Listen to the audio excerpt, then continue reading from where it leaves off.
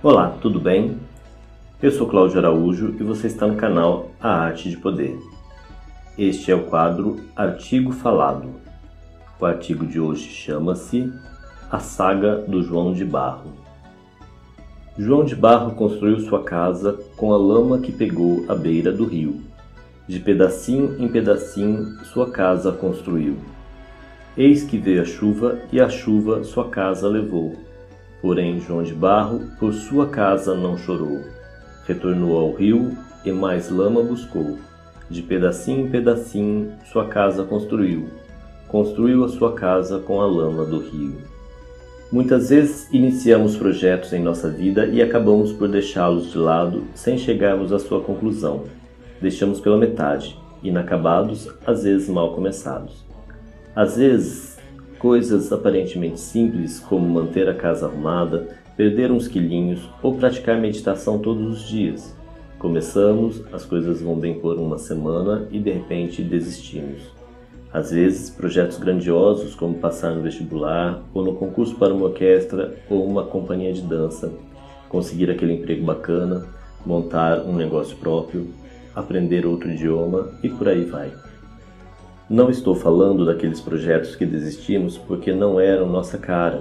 Aliás, eu aconselho a desistir de tudo o que não tenha realmente a ver com você e se concentrar nas coisas que você realmente quer e que realmente te interessam. Estou falando dos projetos que queremos realizar, sonhamos com eles todos os dias e todas as noites, mas não conseguimos levá-los até o fim. Conheci centenas de pessoas que investiram tempo e dinheiro em cursos, professor particular, livros e acabaram sucumbindo diante dos fracassos e do pensamento repetitivo: eu não sirvo para isso, ou pior, eu não tenho sorte. Como se sorte fosse determinante para ganhar a corrida pelo sucesso. Gosto muito da metáfora do João de Barro, especialmente de seu comportamento. Não importa quantas vezes a sua casa for quebrada, ele sempre vai começar de novo e reconstruir a sua casa. Ele não fica se lamentando e se punindo, nem mesmo tentando encontrar um culpado por ter a casa caído. Ele simplesmente começa de novo. Desistir de realizar um sonho de vida é dizer para si mesmo: eu não mereço. É colocar-se na posição de vítima da sociedade, vítima do preconceito, vítima do capital, vítima da violência, vítima da desigualdade e não perceber que, em última instância, o indivíduo se tornou uma vítima da vítima que ele se tornou. Não importa quanta capacidade tenhamos para realizar um projeto de vida, nem importa o tamanho do projeto. Quando começamos a nos encontrar com as dificuldades naturais do caminho, nossa tendência é sempre procurar outro culpado que não seja nós mesmos. Quando as dificuldades crescem, Todas as desculpas mais esfarrapadas começam a surgir em nossa mente para justificar a nossa desistência, antes que a derrota se torne visível para os outros. Imagine um atleta que nunca perdeu nenhuma prova. Isso existe? Sim, basta que ele desista antes da corrida. Não perde, mas também não ganha. Só gasta esforço para não chegar a lugar algum. Você conhece algum atleta que tenha ganhado medalha de ouro após ter desistido da corrida? Ou você já assistiu um show em que o cantor foi ovacionado sem ter subido ao palco? E quem sabe um médico cirurgião que tenha desistido quando não passou no vestibular para medicina? Não importa em que fase do seu projeto você esteja, nem mesmo que desculpas você tenha para desistir. Posso te garantir que a desistência não vai te causar uma sensação de sucesso nem de alívio. Também afirmo que a sensação da derrota é um aviso do nosso subconsciente nos dizendo: desistir é ruim, não faça isso de novo. Ao contrário, a sensação de vitória quando alcançamos o resultado desejado é o sistema de recompensa do nosso cérebro que nos faz sentir muito bem e nos diz: vencer é bom, vença mais vezes.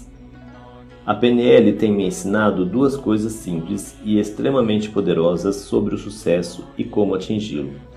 A primeira foi que, quando não estamos conseguindo o resultado esperado, precisamos fazer mudanças. Podemos mudar o método, o caminho, a dedicação, o foco, enfim, introduzir mudanças e com isso obter novos resultados.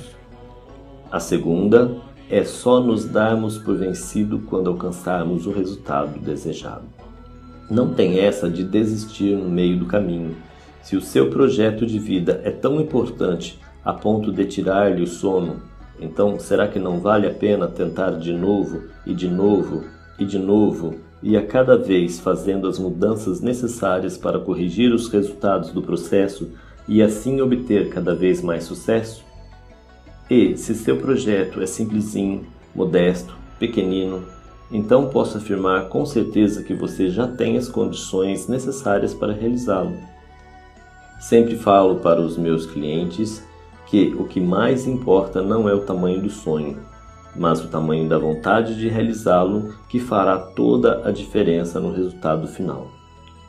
Então, para sua reflexão, qual é o tamanho da vontade de realizar seu projeto de vida? Quantas vezes você está disposto a correr esta corrida até que tenha sucesso? Você é capaz de assumir para si a saga do João de Barro e nunca desistir? O meu grande sonho é ver todas as pessoas ao meu redor crescendo e alcançando seus objetivos. É vê-las realmente felizes e saber que para algumas dessas pessoas meu trabalho fez a diferença é tornar-me agente de transformação para a vida das pessoas que me cercam, ao mesmo tempo que eu próprio vou me transformando em um ser melhor. Por isso escolhi ser coach e terapeuta de PNL. Deste projeto eu nunca vou desistir. Eu sou Cláudio Araújo e você está ouvindo o canal A Arte de Poder. Clique no botão curtir e se inscreva no canal para ficar por dentro de todas as novidades que aqui estão publicadas. Para ler este artigo na íntegra, visite meu site www.artedepoder.com.br. Um abraço no coração de todos e até o próximo artigo falado.